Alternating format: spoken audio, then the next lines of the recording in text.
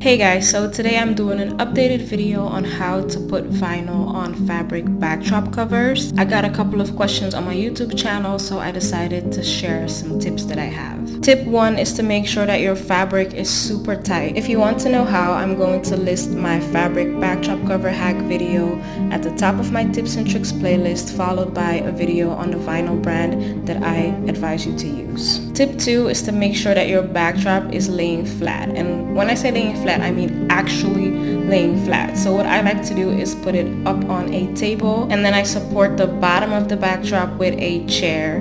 Now this is what works for me. I'd say be creative and figure out what's the best way for you, but I definitely think that if you follow the tips that I gave you in this video, that you will have more success. If you have any questions, leave them in the comment section below and I hope that helps.